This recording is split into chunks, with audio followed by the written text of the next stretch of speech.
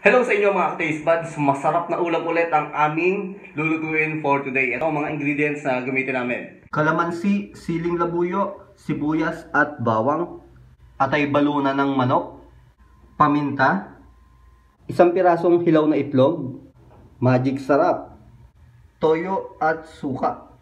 Napakasimple ng mga ingredients. Ngayon naman, ipe-prepare natin ang itlog at saka itong atay baluna ng manok. So ito mga ka-taste buds, iminix na namin ng itlog. Hiniwa na din namin ng maliliit ang balunan.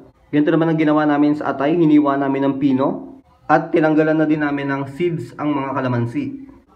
Paglagay muna ng mantika at painitin muna natin ito. Ilagay ang bawang, sibuyas at siling labuyo. Pagsabay-sabay na yan.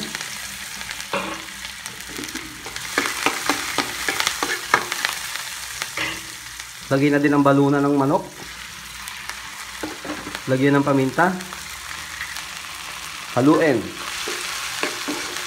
Ilagay ang itlog. Yan, ihalo na sa balunan ang itlog.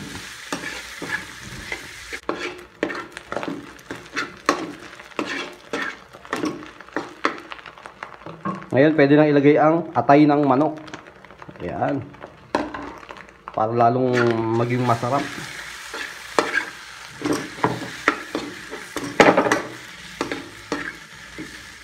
And then, pwede na rin tayo maglagay ng ano nito, ng toyo.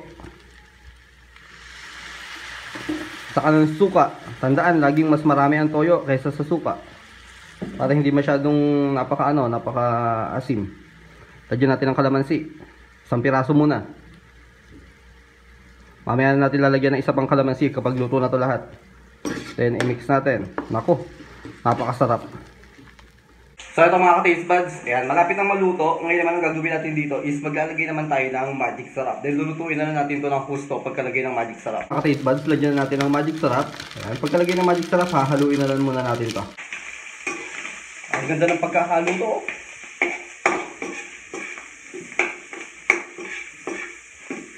So ayan mga ka-taste buds, lulutuin na lang natin ito ng husto.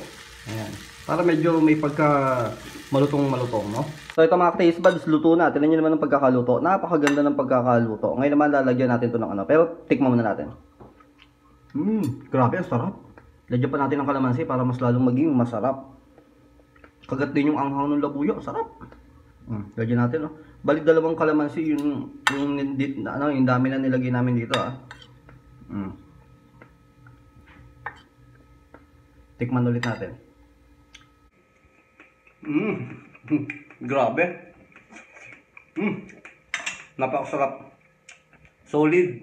Lagyan natin design mga ka-taste buds.